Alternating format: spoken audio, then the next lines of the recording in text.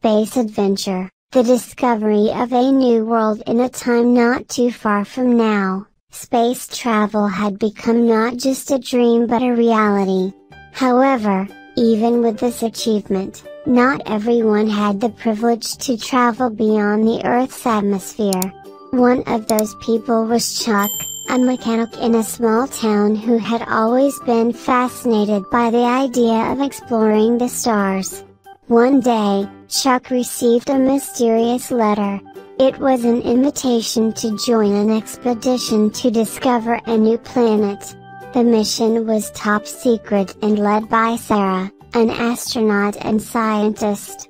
Although hesitant, Chuck's curiosity got the better of him, and he accepted the invitation. Before he knew it, he found himself in a spaceship, sitting next to Sarah, on their way to an uncharted world. As the spaceship zoomed through the galaxy, Chuck learned more about the mission, they were going to planet Xerxes, a newly discovered planet that had the potential to support human life. The mission was to gather samples and data to find out if the planet could be a new home for humanity. After a journey that felt like forever but was actually just a couple of weeks, they arrived. Planet Xerxes was beautiful, with vast oceans, towering mountains, and skies that shifted colors like a dream. Chuck and Sarah wore their spacesuits and went to explore, collecting soil, water, and air samples. As they were exploring, they stumbled upon something extraordinary a cave filled with sparkling gemstones that emitted a soft glow.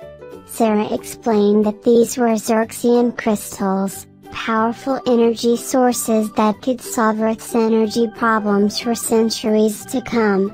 Just when things seemed perfect, they faced a challenge. Their spaceship malfunctioned, causing a small fire on board.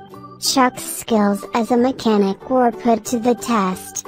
With Sarah's help, he managed to fix the problem, but they had used up some essential resources in the process. Sarah looked worried. We might have enough fuel for the return trip, but it's going to be tight. Chuck thought about the beautiful new world they had discovered, the glowing Xerxian crystals, and the potential for a new life for millions of people. He looked at Sarah and said, We have to take the risk. For us, and for everyone back on Earth. Sarah nodded, inspired by Chuck's courage. Let's do it. They returned to their spaceship, their hearts pounding but their spirits high. After some tense moments and careful maneuvering, they managed to start their journey back to Earth. As they entered Earth's atmosphere, they held their breath, hoping they had enough fuel to make it. With a gentle thud, their spaceship landed.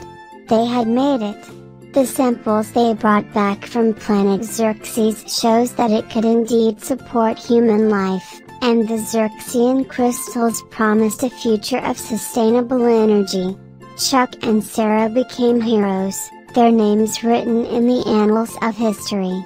Years later, the first colony was established on planet Xerxes, and guess who were among the first to move there? Yes, Chuck and Sarah, who got married and decided to start a new life on the planet they had discovered. So, in a small house overlooking the radiant oceans of planet Xerxes, Chuck looked up at the multicolored sky and then at Sarah, and he felt grateful. Grateful for the adventure, for the discovery, and for the opportunity to be a part of something much larger than himself. And so, under the ever-changing skies of their new world, Chuck and Sarah lived happily, always eager for the next great adventure, reminding everyone that sometimes the most extraordinary discoveries require taking a chance and venturing into the unknown.